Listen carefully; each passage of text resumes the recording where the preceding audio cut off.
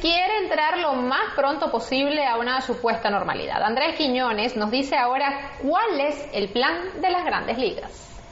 Así es, Dacelis.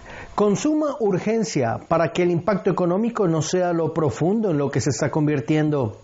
Los dueños de los equipos de las grandes ligas están negociando con el sindicato de jugadores el regreso a las canchas lo más pronto posible.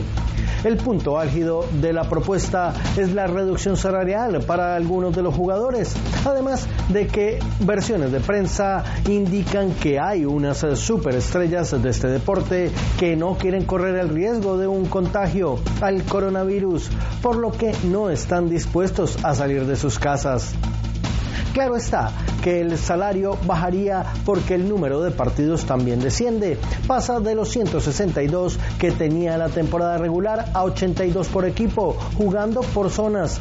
Es decir, que se podrán enfrentar equipos de la Liga Nacional contra la Liga Americana que estén más cerca geográficamente. Los juegos serán a puerta cerrada y podrían disputarse en un mismo estadio, más de un compromiso, todo dependiendo de las autoridades sanitarias de las distintas ciudades que permitan jugar o no. La temporada de entrenamientos estaría comenzando ahora a mediados de junio y el Opening Day será pactado para el 4 de julio, día de la independencia estadounidense.